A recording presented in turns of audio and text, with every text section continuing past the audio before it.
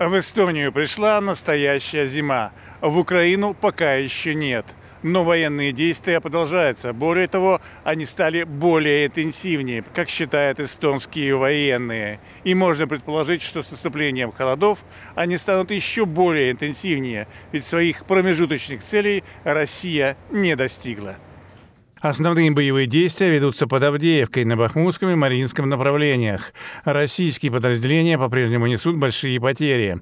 По оценке эстонских экспертов Генштаба за неделю до 10 тысяч человек убитыми и ранеными. Сведения поступают противоречивые, но больших изменений линия фронта не претерпела. Э, э, Сейчас все указывает на то, что боевая деятельность продолжается, и Россия хочет перехватить инициативу на разных участках фронта. И поэтому интенсивность боев в течение ближайших недель не уменьшится, а скорее вырастет. Тоже мы видим в использовании дальнобойной артиллерии. У России появилась возможность использовать артиллерию больше, чем в предыдущей неделе. В Эстонии свою первую годовщину отмечает дивизия сил обороны. Она считает себя правопреемницей подразделения, созданного в декабре 1917 года во времена освободительной войны, но в нынешнем составе создана ровно год назад.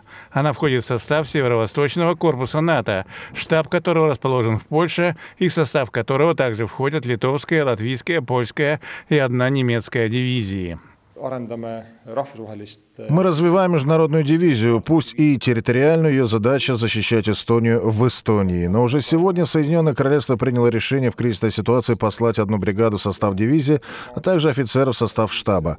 Они с нами уже работают, как и французские военные. Более того, в боевых группах, в которых британцы играют ведущую роль, большинство батальонов служило в Эстонии. Они знакомы с нашим рельефом, с нашими процедурами, техникой и тактикой. Интеграция уже на высоком уровне. Мы работаем и над тем, как британская дивизия будет доставлена в Эстонию в случае кризиса.